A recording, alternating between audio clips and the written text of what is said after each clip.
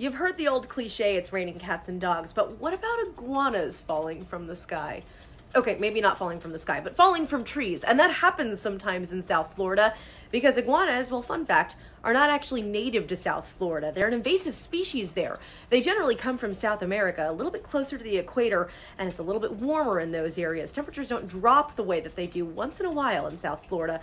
For example, if it gets down to 40 degrees in that part of the state, well, it's cold enough that those iguanas, being cold blooded, they become immobile. They really slow down. They can't move, and sometimes they just kind of fall from wherever they are.